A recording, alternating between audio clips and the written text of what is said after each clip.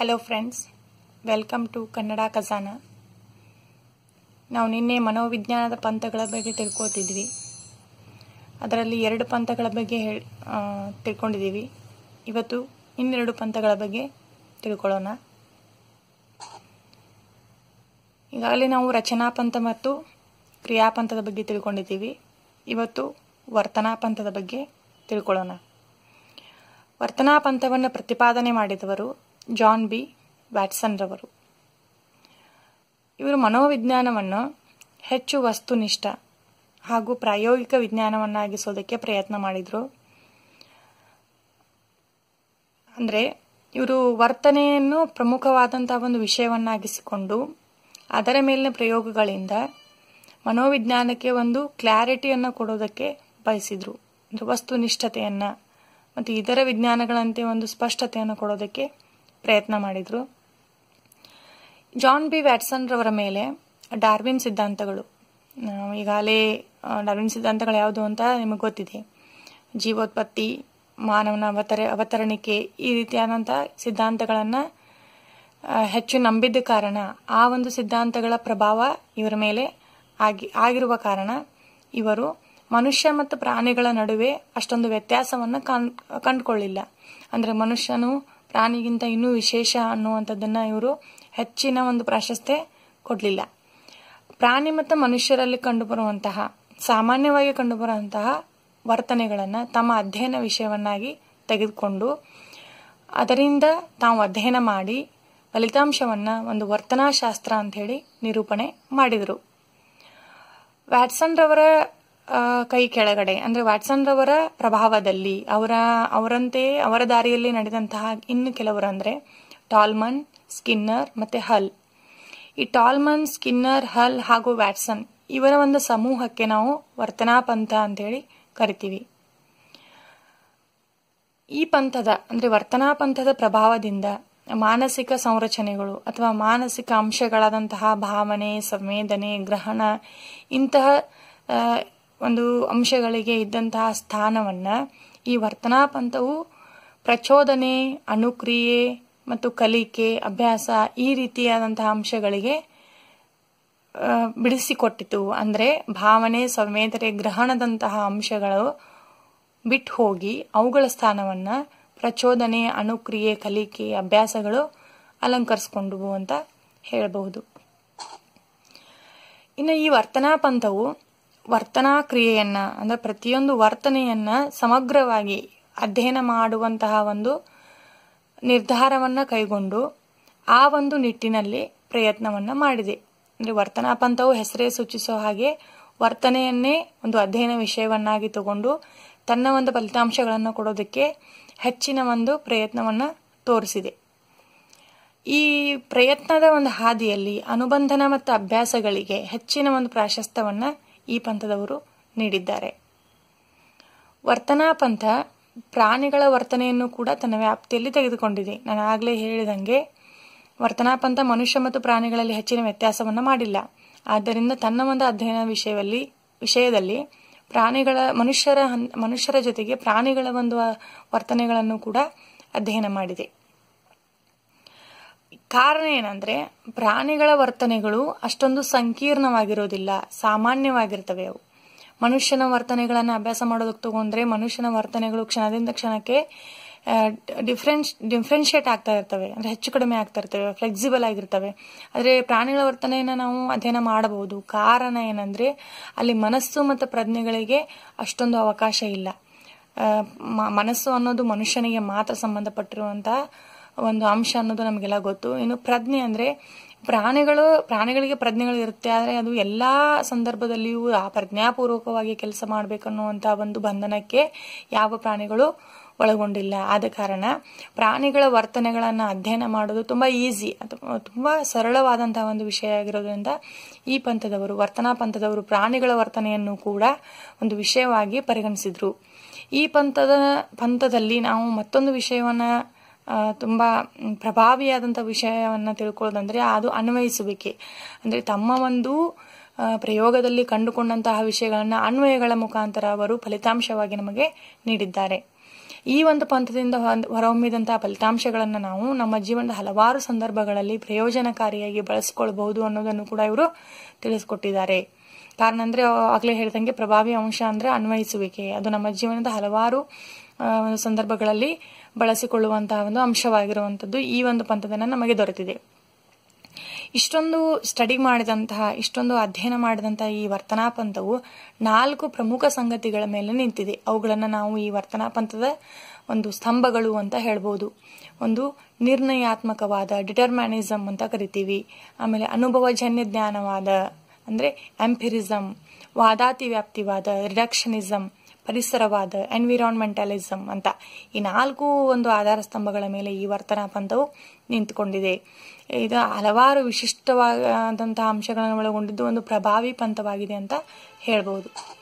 ಇನ್ನು ಇದ್ರ ಮುಂದ್ಗಡೆ, ಮುಂದೆ ಬರುವಂತದ್ದು ಮನೋವಿಶ್ಲೇಷಣಾ ಪಂಥ ಅಥವಾ ವಿಶ್ಲೇಷಣಾ ಪಂಥ ಎರಡು ರೀತಿಯೂ ಕರಿತೀವಿ.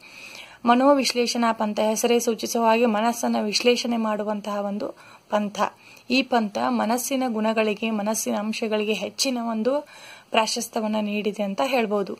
ಈ ಮನೋವಿಶ್ಲೇಷಣಾ ಪಂಥದ ಪ್ರತಿಪಾದಕರು ಸಿಗ್ಮಂಡ್ ಫ್ರೈಡ್ ಸಿಗ್ಮಂಡ್ ಫ್ರೈಡ್ ಅವರ ಒಂದು ಹಾದಿಯಲ್ಲಿ ಅವರ ಶಿಷ್ಯಂದರು ಕೂಡ ನಡೆದ್ರು.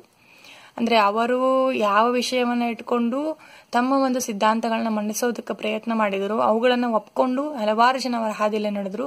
ಅದರಲ್ಲಿ ಇಬ್ರು ಪ್ರಮುಖರಾದಂತವ್ರು ಬರ್ತಾರೆ. ಯಾರಂದ್ರೆ ಅವರ ಶಿಷ್ಯರಾದ ನಂತರ ಅಂದ್ರೆ ಸಿಗ್ಮಂಡ್ ಫ್ರೈಡ್ ಅವರ ಶಿಷ್ಯರಾದ ಕಾರ್ಲ್ ಗೆಸ್ಟಾ ಯಾಂಗ್ ಮತ್ತೆ ಆಲ್ಫ್ರೆಡ್ ಆಡ್ಲರ್. ಈ ಕಾರ್ಲ್ ಗೆಸ್ಟಾವ್ ಆ್ಯಂಗ್ ಮತ್ತು ಆಲ್ಫ್ರೆಡ್ ಅವರು ತಮ್ಮದೇ ಆದಂತಹ ಎರಡು ಸಿದ್ಧಾಂತಗಳನ್ನು ಕೊಟ್ಟರು ಅಂದರೆ ಕಾರ್ಲ್ ಗೆಸ್ಟಾವ್ ಯಾಂಗರ್ ಅವರು ಕೊಟ್ಟಿದ್ದು ವಿಶ್ಲೇಷಣೆ ಮನೋವಿಜ್ಞಾನ, ಅಂದರೆ ಅನಲೈಟಿಕಲ್ ಸೈಕಾಲಜಿ. ಆಮೇಲೆ ಆಡ್ಲವ್, ಆಮೇಲೆ ಆಡ್ಲವರು ಆಡ್ಲರ್ ಅವರು ಕೊಟ್ಟಿದ್ದು ವ್ಯಕ್ತಿವಾದ ಮನೋವಿಜ್ಞಾನ ಇಂಡಿವಿಜುವಲ್ ಸೈಕಾಲಜಿ ಅನಲೈಟಿಕಲ್ ಸೈಕಾಲಜಿ ಮತ್ತು ಇಂಡಿವಿಜುವಲ್ ಸೈಕಾಲಜಿಗಳು ಕೂಡ ಇವತ್ತು ತುಂಬ ಪ್ರಭಾವಿಯಾದಂಥ ವಿಷಯಗಳಾಗಿವೆ. ಈ ಮೂರರ ಒಂದು ಸಿದ್ಧಾಂತಗಳನ್ನು, ಅಂದರೆ Sigmund Freud, Carl Gustav Jung ಹಾಗೂ ಆಡ್ಲರ್, ಈ ಮೂರು ಜನರ ಸಿದ್ಧಾಂತಗಳನ್ನು ಒಟ್ಟಾಗಿ ಸೇರಿಸಿ, ಆ ಮೂರು ಸಿದ್ಧಾಂತಗಳ್ಯಾವುದು ಮನೋವಿಶ್ಲೇಷಣಾ ಸಿದ್ಧಾಂತ, ವಿಶ್ಲೇಷಣಾ ಸಿದ್ಧಾಂತ, ವ್ಯಕ್ತಿವಾದ ಸಿದ್ಧಾಂತ. ಈ ಮೂರನ್ನು ಸೇರಿಸಿ ಗತಿಶೀಲ ಮನೋವಿಜ್ಞಾನ ಅಂತ ಹೇಳಿ ಒಂದೇ ಹೆಸರಿನಿಂದ ಕರೆಯಲಾಗ್ತದೆ. ಮನೋವಿಶ್ಲೇಷಣಾ ಸಿದ್ಧಾಂತ ಹೆಚ್ಚಿನದಾಗಿ ಮನಸ್ಸಿಗೆ ಅಥವಾ ಮನಸ್ಸಿನಲ್ಲಿ ನಡೆಯುವಂತಹ ಪ್ರ ಕ್ರಿಯೆ ಪ್ರತಿಕ್ರಿಯೆಗಳಿಗೆ, ಚಟುವಟಿಕೆಗಳಿಗೆ ಒಂದು ತುಂಬ ಬೆಲೆಯನ್ನು ಕೊಟ್ಟಿರೋದ್ರಿಂದ ಮನಸ್ಸಿನ, ಮನೋವಿಶ್ಲೇಷಣಾ ಸಿದ್ಧಾಂತದ ಪ್ರಕಾರ ವ್ಯಕ್ತಿತ್ವ ರಚನೆ ಮತ್ತು ಮನೋವ್ಯಾಪಾರಗಳು ತುಂಬ ಪ್ರಮುಖ ಆಗ್ತವೆ. ಆದ್ದರಿಂದ ಈ ಮನೋವ್ಯಾಪಾರಗಳು ಮೂರು ವಿಭಾಗಗಳಲ್ಲಿ ಅಥವಾ ಮೂರು ವಿಧಗಳಲ್ಲಿ ನಡೆಯುತ್ತವೆ. ಆ ಮೂರು ವಿಧಗಳು ಯಾವುದಂದ್ರೆ ಪ್ರಜ್ಞೆ ಕಾನ್ಸಿಯಸ್ನೆಸ್ ಅವಪ್ರಜ್ಞೆ ಅನ್ಕಾನ್ಸಿಯಸ್ನೆಸ್ ಸುಪ್ತ ಪ್ರಜ್ಞೆ ಸಬ್ ಕಾನ್ಸಿಯಸ್ನೆಸ್ ಈ ಮೂರರ ಬಗ್ಗೆ ನೀವು ಹೆಸರುಗಳನ್ನು ಕೇಳಿರ್ತೀರಿ ಅಥವಾ ಅದ್ರ ಬಗ್ಗೆ ತಿಳ್ಕೊಂಡು ಇರ್ತೀರಿ, ನಾನು ಇನ್ನೊಂದ್ಸಲಿ ಹೇಳ್ತೀನಿ ಅಷ್ಟೇ. ಪ್ರಜ್ಞೆ ಅಂದ್ರೆ ಈಗ ನಡೀತಿರುವಂತಹ ಸಂಗತಿಗಳು ನಮ್ಮ ಅರಿವಿಗೆ ಬರಬೇಕು. ಇಲ್ಲಿ ಏನು ನಡೀತಿದೆ ಅಂತ ನಮಗೆ ಅರ್ಥ ಆಗಬೇಕು. ಅದು ಪ್ರಜ್ಞೆ. ಇನ್ನು ಅವಪ್ರಜ್ಞೆ ಅಂದ್ರೆ ಅನ್ಕಾನ್ಸಿಯಸ್ ನಮಗೆ ನಮ್ಮ ಆ ವಿಷಯ ಏನು ನಡೀತಿದೆ ಅನ್ನೋದು ನಮಗೆ ತಿಳಿಯೋದೇ ಇಲ್ಲ ಅಥವಾ ನಮ್ಮ ಅರಿವಿಗೆ ಬರೋದೇ ಇಲ್ಲ. ಅಂತ ಒಂದು ಸ್ಥಿತಿಯನ್ನು ಅವಪ್ರಜ್ಞೆ ಅಂತ ಹೇಳಿ ಕರಿತೀವಿ ಇನ್ನು ಸುಪ್ತ ಪ್ರಜ್ಞೆ. ಹೆಸರೇ ಹೇಳೋ ಹಾಗೆ ಸುಪ್ತವಾಗಿರುವಂತವು ಅಂತಹ ಒಂದು ಪ್ರಜ್ಞೆ. ಪ್ರಜ್ಞೆ ಇರ್ತದೆ, ಆದರೆ ಅರಿವಿಗೆ ಯಾವಾಗ ಅದರ ಅವಶ್ಯಕತೆ ಇರ್ತದೋ, ಯಾವಾಗ ನಾವು ಅದನ್ನು ನೆನಪಿಸ್ಕೊಳ್ತೀವೋ, ಆಗ ಮಾತ್ರ ಅದು ನಮ್ಮ ನೆನಪಿಗೆ ಬರ್ತದೆ. ಇಲ್ಲ ಅಂದ್ರೆ ಅದು ನಮ್ಮ ನೆನಪಿ ನೆನಪಿಗೆ ಬರುವುದಿಲ್ಲ. ಯಾಕಂದ್ರೆ ಅದು ನಮ್ಮ ಮನಸ್ಸಿನ ನಿಯಂತ್ರಣಕ್ಕೆ ಒಳಪಟ್ಟಿರೋದಿಲ್ಲ. ನಮ್ಮ ಅರಿವಿನ ನಿಯಂತ್ರಣಕ್ಕೆ ಒಳಪಟ್ಟಿರೋದಿಲ್ಲ. ಈಗ ಫಾರ್ ಎಕ್ಸಾಂಪಲ್ ಯಾವುದೋ ಒಂದು ಘಟನೆ ನಡೆದಿರ್ತದೆ ನಮ್ಮ ಜೀವನದಲ್ಲಿ, ನಾವು ಚಿಕ್ಕವರಿದ್ದಾಗ ನಡೆದಿರ್ತದೆ. ಅದನ್ನ ನಮ್ಮ ಅದು ನಡೆದಿರೋದು ನಿಜ. ಆದರೆ ಸಾಮಾನ್ಯವಾಗಿ ನೆನಪಿಗೆ ಬರೋದಿಲ್ಲ. ಬೇರೆ ಯಾವುದೋ ಒಂದು ಆಕ್ಸಿಡೆಂಟ್ ಅನ್ನು ನೋಡ್ತೀವಿ. ಆ ನೋಡಿದ ತಕ್ಷಣ, ಹಾ, ನನಗೂ ಹೀಗಾಗಿತ್ತು ಅನ್ನೋದು ನೆನಪು, ನೆನಪಿಸ್ಕೊಳ್ತೀವಿ, ಅಥವಾ ನೆಗೆಟಿವ್ ಥಿಂಗ್ಸ್ ಬೇಡ ಅಂದರೆ ಪಾಸಿಟಿವ್ ಆಗಿ ತಗೊಳ್ಳೋದಾದರೆ ನಾವು ಆಡಿದಂಥ ಆಟಗಳು, ನಾವು ಸಣ್ಣವರಿದ್ದಾಗ ಆಡಿದಂಥ ಆಟಗಳು, ನಾವು ದೊಡ್ಡವರಾದ್ಮೇಲೆ ವಯಸ್ಕರಾದ್ಮೇಲೆ, ಚಿಕ್ಕ ಮಕ್ಕಳು ಆಡೋದನ್ನು ನೋಡಿ ನಾವು ಆಟ ಆಡಿದಂತಹ ಒಂದು ಆ ಸಂದರ್ಭವನ್ನು ನೆನಪಿಸ್ಕೊಳ್ತೀವಿ. ಅಂದರೆ ಅದು ಸುಪ್ತವಾಗಿರುತ್ತದೆ. ತನ್ನಷ್ಟಕ್ಕೆ ತಾನು ತ ಮನಸ್ಸಿನಲ್ಲಿ ಇರುತ್ತದೆ. ಆದರೆ ಅದು ನೆನಪಿಗೆ ಬರೋದು ಮಾತ್ರ ಸಂದರ್ಭ ಬಂದಾಗ ನಾವು ಅದನ್ನು ನೆನಪಿಸಿಕೊಂಡಾಗ ಅದು ನಮಗೆ ಗೊತ್ತಾಗ್ತದೆ. ಈ ಒಂದು ಪ್ರಜ್ಞೆಯನ್ನು ಸಬ್ ಕಾನ್ಸಿಯಸ್ನೆಸ್ ಅಂತ ಕರಿತೀವಿ. ಅದ್ರ ಜೊತೆಗೆ ಇದು ತುಂಬ ಪವರ್ಫುಲ್ ಅಂಶ ಅಂತಾನು ಹೇಳ್ಬೋದು. ಪ್ರಜ್ಞೆ ಅಪ್ರಜ್ಞೆಗಿಂತನೂ ಪವರ್ಫುಲ್ ಆಗಿರೋದಂದ್ರೆ ಸುಪ್ರ, ಸುಪ್ತ ಪ್ರಜ್ಞೆ.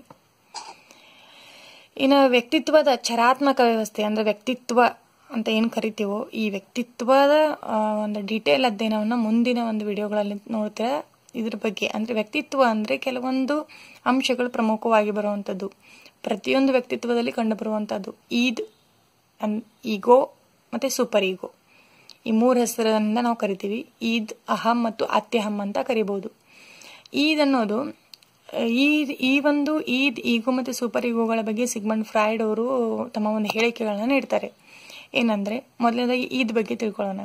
ಈದ್ ಅನ್ನೋದು ಅವಿವೇಕ ಮತ್ತು ಅಸಹಜತೆಯ ಒಂದು ಪ್ರತೀಕ ಅಂತ ಹೇಳ್ಬೋದು. ಈ ಈದ್ ಎಲ್ಲಿರ್ತದೋ, ಪ್ರಾಣಿ, ಇದು ಕಂಡು ಬರೋದೇ ಪ್ರಾಣಿಗಳಲ್ಲಿ, ಮನುಷ್ಯರಲ್ಲಿ ಇರುತ್ತದೆ. ಆದರೆ ಅದಕ್ಕೆ ಅಷ್ಟೊಂದು ಪ್ರಾಶಸ್ತ್ಯವನ್ನು ಮನುಷ್ಯ ನೀಡೋದಕ್ಕೆ ಹೋಗೋದಿಲ್ಲ. ಯಾಕಂದ್ರೆ ಅವನಲ್ಲಿ ಇನ್ನೆರಡು ಗುಣಗಳು ಬರ್ತವೆ. ಅಹಂ ಮತ್ತು ಅತ್ಯಹಂ ಅಂತ. ಆದ್ರಿಂದ ಈದ್ ಅನ್ನುವಂತಹ ಒಂದು ಗುಣ, ಪ್ರಾಣಿಗಳಲ್ಲಿ ಕಂಡು ಬರುವಂತಹ ಒಂದು ಗುಣ. ಇದರ ಒಂದು ಲಕ್ಷಣ ಏನಂದ್ರೆ, ತನಗೆ ಏನು ಬೇಕು, ಉಳಿದದ್ದು ಏನಾದರೂ ಆಗಲಿ, ತನಗೇನು ಬೇಕು, ಅದನ್ನು ನಾನು ದಕ್ಕಿಸ್ಕೊಳ್ಳೇಬೇಕು. ಅದು ನನಗೆ ಸಿಗಲೇಬೇಕು. ವಾಸ್ತವ ಸಂಗತಿಯನ್ನೂ ಮರೆತು ಮರೆತು ತನಗೆ ಬೇಕಾದಂಥದ್ದನ್ನ ಏನಾದರೂ ಸರಿ ದಕ್ಕಿಸ್ಕೊಳ್ಳೇಬೇಕು, ಪಡ್ಕೊಳ್ಳೇಬೇಕು ಅನ್ನುವಂತಹ ಒಂದು ಗುಣವನ್ನ ಈದ್ ಅಂತ ಕರಿತೀವಿ. ಇದು ವ್ಯಕ್ತಿತ್ವದ ಒಂದು ವ್ಯವಸ್ಥೆಯ ಭಾಗ. ಅಹಂ ಅನ್ನೋದು ವಾಸ್ತವವಾಗಿ ಇರುವಂಥದ್ದು ಎಲ್ಲ ಮನುಷ್ಯರಲ್ಲಿ ಕಂಡುಬರುವಂಥದ್ದು ತ, ಸ್ವಾರ್ಥನೂ ಇರ್ತದೆ, ಇನ್ನೊಬ್ಬರಿಗೆ ಪರೋಪಕಾರಿಯಾಗಿರ್ಬೇಕನ್ನೋ ಬುದ್ಧಿನೂ ಇರ್ತದೆ. ಆದರೆ ಅದು ಸಂದರ್ಭಕ್ಕನುಗುಣವಾಗಿ ವಾಸ್ತವದ ಪರಿಸ್ಥಿತಿಗಳಿಗೆ ಅನುಗುಣವಾಗಿ ತನ್ನ ಕಾರ್ಯವನ್ನ ನಿರ್ವಹಿಸುವಂತಹ ಒಂದು ಅಂಶ ಅಹಂ. ಇನ್ನು ಅತ್ಯಹಂ ಅನ್ನೋದು, ಇದು ಎಲ್ಲರಲ್ಲಿಯೂ ಇರ್ ಇರುವಂತಹ ಒಂದು ಅಂಶನೇ, ಆದರೆ ಎಲ್ಲರಲ್ಲಿಯೂ ಸಾಮಾನ್ಯವಾಗಿ ಕಂಡುಬರೋದಿಲ್ಲ ಸ್ವಲ್ಪ ಮೇಲ್ಸ್ತರದ ವ್ಯಕ್ತಿತ್ವಗಳಲ್ಲಿ ಕಂಡು ಬರ್, ಬರುವಂತಹ ಒಂದು ವಿಷಯ. ಇದೊಂದು ಮೌಲ್ಯಯುತವಾದಂತಹ ವಿಷಯ. ಇಲ್ಲಿ ತನಗಿಂತ, ತನ್ನ ಸ್ವಾರ್ಥಕ್ಕಿಂತ ಇತರರ ಒಳಿತನ್ನು ಬಯಸುವಂತಹ ಒಂದು ವ್ಯಕ್ತಿತ್ವದ ಭಾಗವನ್ನು ನಾವು ಸೂಪರ್ ಯುಗೋ ಅಂತ ಹೇಳಿ ಕರಿತೀವಿ. ಈದ್ ಮತ್ತು ಸೂಪರ್ ಯುಗೋ ಈಗೋಗಳ ನಡುವಿನ ಒಂದು ಬ್ಯಾಲೆನ್ಸಿಂಗ್ ಅಂಶವಾಗಿ ಕಾರ್ಯನಿರ್ವಹಿಸುವಂತಹದ್ದು ಅಹಂ ಅಥವಾ ಈಗೋ. ಈ ಮೂರು ವಿಶೇಷತೆಗಳನ್ನು ನಾವು ಪ್ರತಿಯೊಂದು ವ್ಯಕ್ತಿಗಳಲ್ಲಿ ಕಾಣ್ತೀವಿ, ಪ್ರತಿಯೊಂದು ವ್ಯಕ್ತಿತ್ವದಲ್ಲಿ ಕಾಣ್ತೀವಿ ಅಂತ ಸಿಗ್ಮನ್ ಫ್ರಾಯ್ಡ್ ಅವರು ಹೇಳ್ತಾರೆ. ಇಂತಹ ಹಲವಾರು ವಿಷಯಗಳಿಂದ ಈ ಈ ಪಂಥ ಮನೋವಿಶ್ಲೇಷಣಾ ಪಂಥ ಎಲ್ಲರ ಒಂದು ಅಥವಾ ಎಲ್ಲ ಪಂಥಗಳಿಗಿಂತ ಸ್ವಲ್ಪ ವಿಭಿನ್ನವಾಗಿ ಕಂಡು ಎಲ್ಲರ ಗಮನವನ್ನು ಸೆಳೆಯೋದಕ್ಕೆ ಸಹಕಾರಿಯಾಗಿದೆ.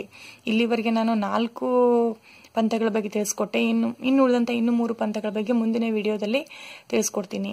ಈ ವಿಡಿಯೋ ನಿಮಗೆ ಇಷ್ಟ ಆಗಿದ್ರೆ ದಯವಿಟ್ಟು ಲೈಕ್ ಮಾಡಿ ಕಮೆಂಟ್ ಮಾಡಿ ಶೇರ್ ಮಾಡಿ ಮತ್ತು ನನ್ನ ಚಾನಲ್ಗೆ ಸಬ್ಸ್ಕ್ರೈಬ್ ಆಗಿ ನನಗೆ ಸಪೋರ್ಟ್ ಮಾಡಿ. Thank you